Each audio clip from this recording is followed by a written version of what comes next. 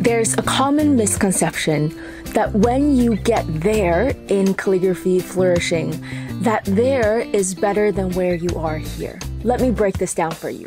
There are no rainbows and unicorns there. You will still experience fear when you do something out of your comfort zone, especially if you continue to grow.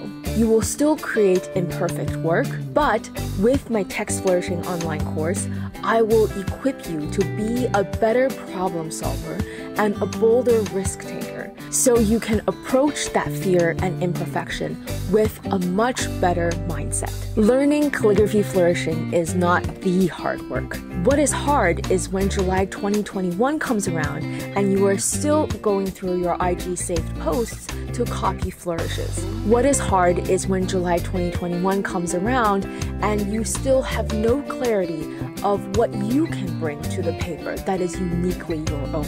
And you're still hoping that something might come your way and that thing might work. It is inevitable that you can develop your own style on paper. It is inevitable just as you are already different from everyone else in the world.